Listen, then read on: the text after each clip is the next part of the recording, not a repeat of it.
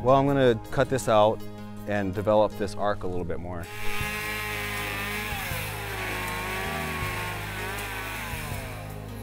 I'm Tim Byrns and I'm a freeform sculptor. My most favorite part is probably uh, what I'm doing now, which is getting in there with the tools, with an idea and sculpting, and then you know reacting to the spontaneity of the process, the working around some of the natural cracks in the wood. The unknowns are probably the most exciting part in the carving process for me. The wood itself is full of surprises, and the wood, yes, it definitely does shape the final outcome, but the sculpture is more a marriage of my intended sculptural form and the wood's inherent organic form.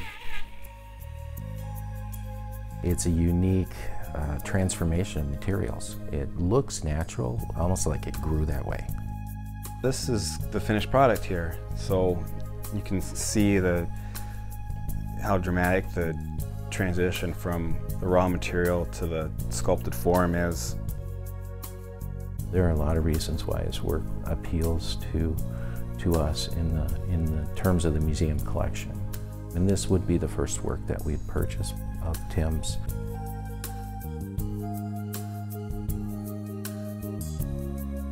He has another discipline, he's a biologist, that uh, he works, you know, that's his day job really. But there's a really unique connection between his day job and his art. It's a little bit loose when I want to relate this to actual uh, biologic process. I think more that I'm attracted to is just the naturalness of it and the shapes that I carve into it. I try to keep natural. The, for example, these shapes that are repeated, these bulbs with these long tails in here is something that I repeated a lot in my work after taking a trip to the Puget Sound and seeing these waves rolling up on the beach and bladder kelp going up and down. And I, you know, that image of this, this vegetation and this wave motion was something that struck me as being very beautiful. This is Acer risperisum, and uh, it also translates into loosely into a maple wave.